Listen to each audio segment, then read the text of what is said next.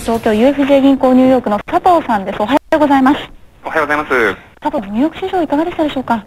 はい、えーニューヨーク市場のドル円は序盤は82円台後半での狭いレーンで推移しましたが、えーニューヨーク時間午後になりますとアメリカの金融当局者が2011年末までの利上げをしたしたしたしたとの報道もありまして、はい。83円台前半までドル高円安が進みました。えー金融当局者の発言を受けましてアメリカの長期金利も一時上昇しました、えドル円だと上昇してますね。であのー予想レンジなんですが今日出していただいたのが82円の70銭から83円の70銭ということですね。今日の東京ですね。見通しはいかがでしょうか？はい、えー本日のアジア時間は一時引退の展開になるとしています。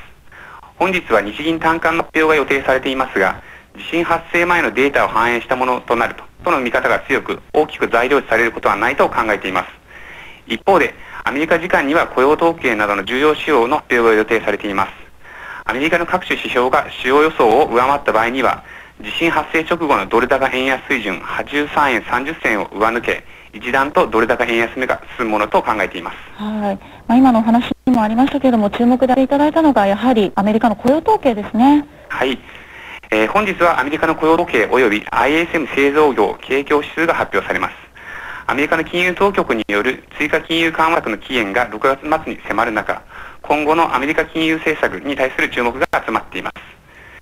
え先週以降、アメリカの金融当局者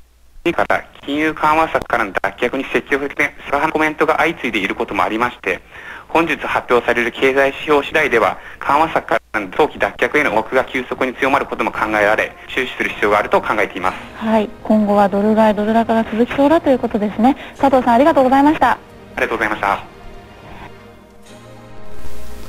はい、おはようございます。えー今日も終わりました。えー金曜日になりましたね。えーこんばんは、えー雇用統計ありますんで、えーまた動くと思うんですが、まずドル円ですね、15分足から見ていきたいと思います。えー寄り付きからですね、ずっとアジアの寄り付きからずっと売られてきましたが、えーいつものようにですね、61.8%、15分、15分、えー15分足のですね、フィボナッチ61.8%とこの強力なですね、15分足の 200MA をですね、サポートにじわじわじわじわ戻す展開、えーそしてこちらね、えーアメリカの寄り付きあたりであオンやってますが、一気に上昇して、えーアジアの寄り付きの、えーところでね、ダブルトップで小反落してそのまま終了と。えー値幅的には66.1ビップスですね。えーなかなか行ってこいの相場になりましたね。これが15分足でして、1時間足で見るとこんな感じ。えーそうですね、えー15分の 200MA が、えー1時間だと 50MA になりますんで、ここ 50MA をサポートにですね、えー行ってこいで戻って、お初めに、えー戻ってるというような感じですね。ここから雇用統計を睨んで、えー上抜けるかあそれともトリプルトップで下落するかというとこですね。えー、日足で見てもこんな感じ。えーこの日足のですね 200M 若干突破しておりますが、えー今日は陰線でですね、えーもたついてますね。ここから上抜けるか、それとも、えー下抜けるか というとこですね。えーこれがドル円でして、えーまず、えーゴールドからですね、えー商品、えー見てみたいと思いますが、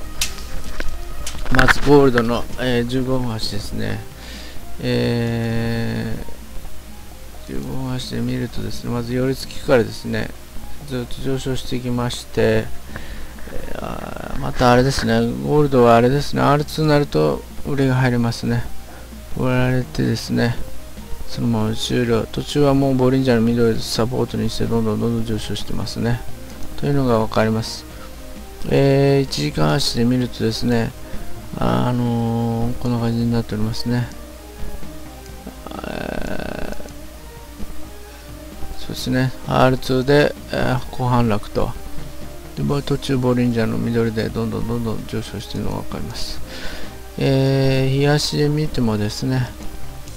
えー、まだ直近の高値、こちらの高値はまだ抜けてきておりませんが、今晩の、えー、雇用統計でどうなるかというところでしょう。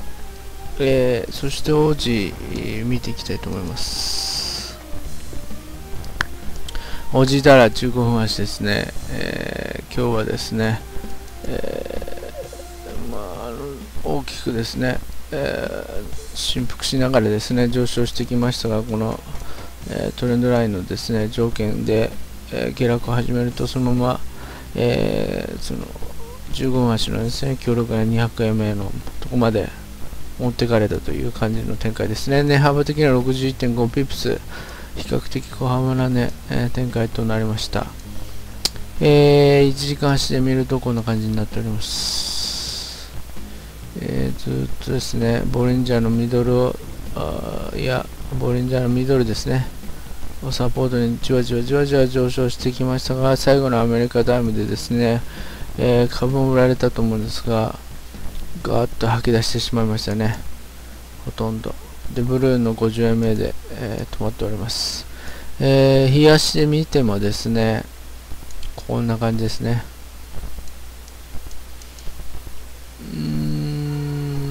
と今日も陽線ですが、R1 付近で、えー、マンスリー R2 とかあとかその辺であれですね頭を押さえられてますね、まあ、直近の高いのは超えてますね今日も、えー、なかなか元気なあ王子ですがまず、えー、欧州通貨も見ていきますとですね。欧州通貨はですねまず、えー、パウンドからケーブルから見るとケーブルの15分足で見るとですねケーブも綺麗にですねずっと R2 まで行きまして R2 でダブルトップを迎えるとこうあ大きく反落していきましてねそしてどんどんどんどん来まして、えー、今度この黄色の、えー、15分の M、えー、200円目ですねを挟むようにしてサポートされますが、このブルーの 50MA で頭を押さえられてまたこう反落と。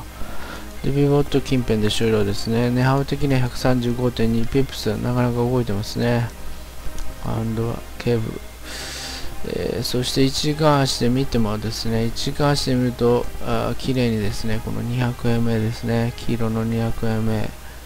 でダブルトップを迎えると大きく反落えー、そしてこのボリンジャーのミドルでまた反落という戻り売りですね。綺麗なあテクニカル的に綺麗な展開になりましたね、ケーブルの方は。で、東で見るとこんな感じ。えー、今日は陰線ですね、このあピボット、マンスリーウィークリーのピボットの密集地帯で売られてるのが分かりますね。とてもテクニカル的に素直な綺麗な展開になっております、ケーブルは。そしてスイスフランを見ていきますとですね、ー、スイスフランの15分足から見ると、えー、こんな感じになっておりますね。スイスフランもですね、綺麗に、えー、寄り付きからですね、ボリンジャーのミドルを戻り売りの起点にしてどんどん売られているのが分かりますね。そしてこちらで1回フラッシュしまして、え、反発を始めると、え、ほぼ初めねアジアの寄り付きの値段でがちょうど200円でもありますがその辺の付近で終了と。これも行ってこいになりましたね。値幅は71ピップス、えー、そして1時間走ってみるとこんな感じですね。1時間走ってみるとちょうどフィボナッチのですね半値戻しが、えー、1時間の200円目、黄色の線ね、200円目でもありますので、そこから高反発を。ということですね。そしてこのボリンジャーの上限、えー、このブルーの 50mm のところでがちょうどアジアの寄り付きの値段でもありまして、そこで終了と。こちらも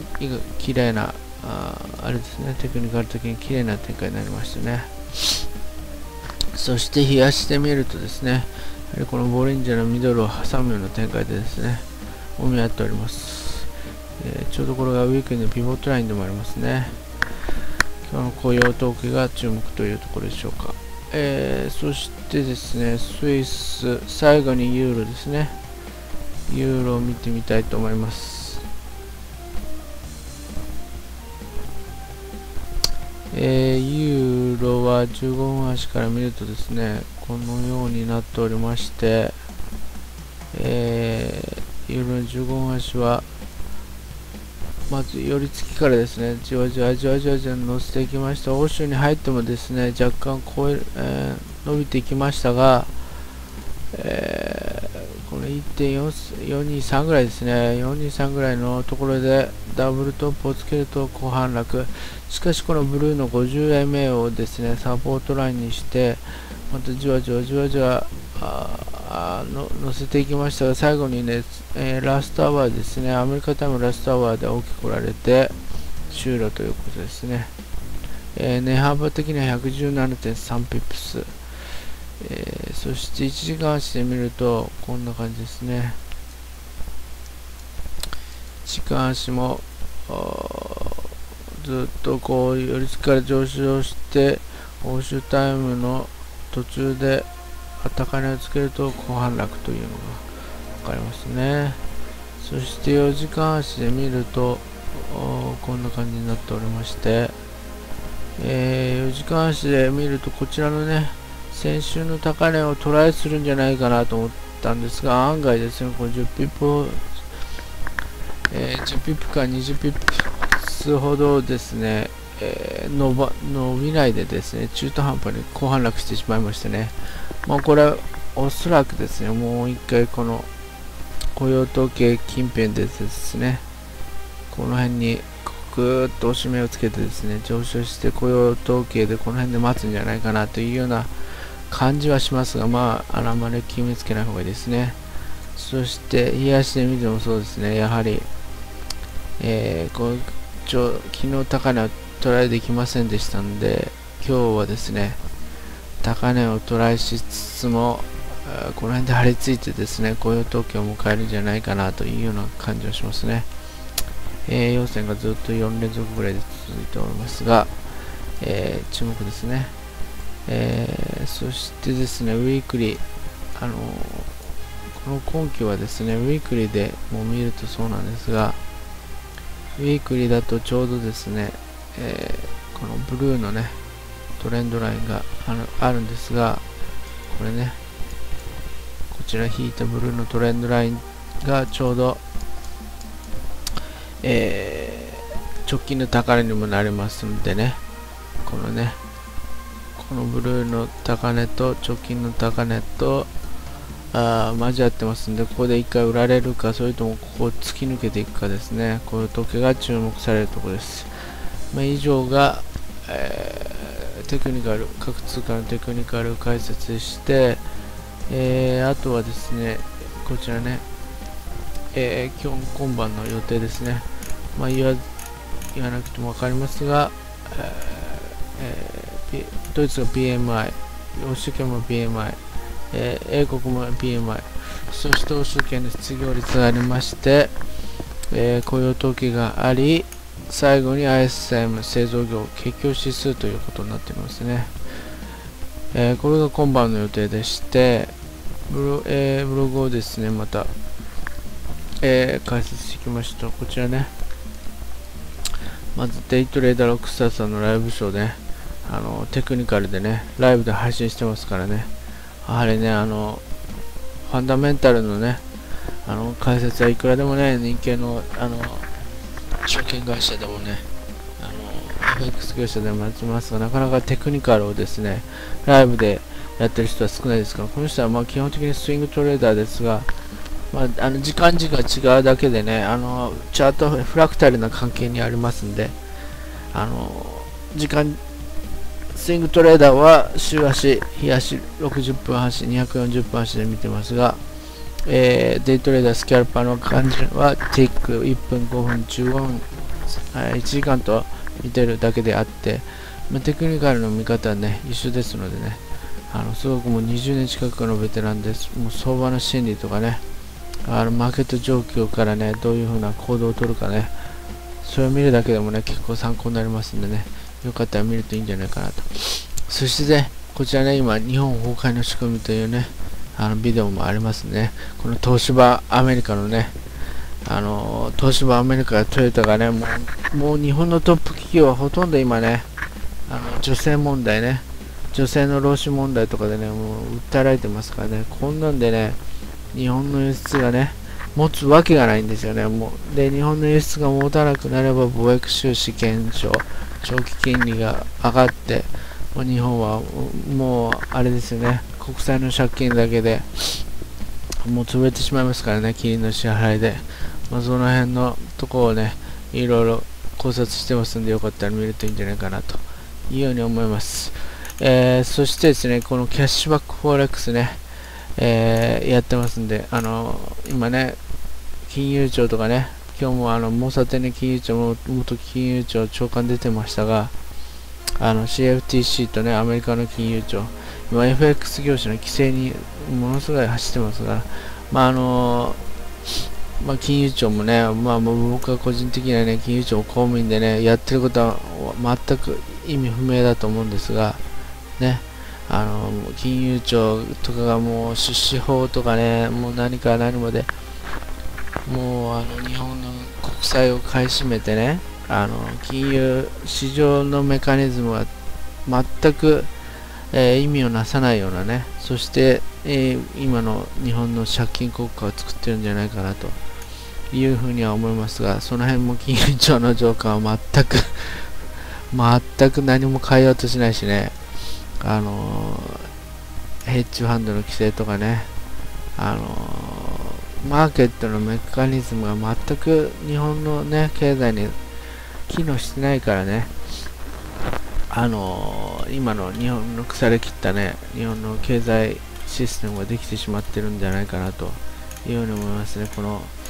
あの、ウォールストリートでね、まあ、これ1987年の映画ですが、ウォールストリートでね、ゴードン・ケッコさんがね、言ってるようにね、もう今、日本の企業ってもう機能してないわけですよ。もう特にアメリカでもね、もう訴訟の嵐だしね、もう、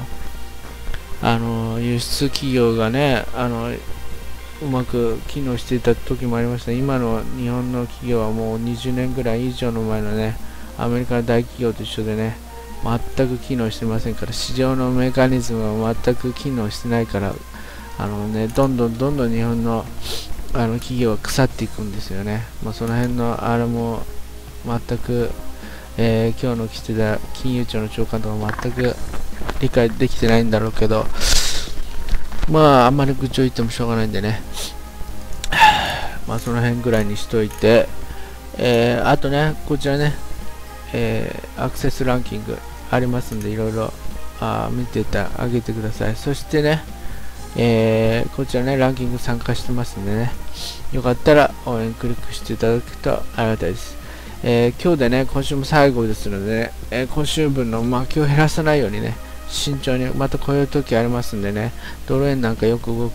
よく動くと思いますんでね、えー、落ち着いてね、負けないように頑張ってください。それでは失礼します。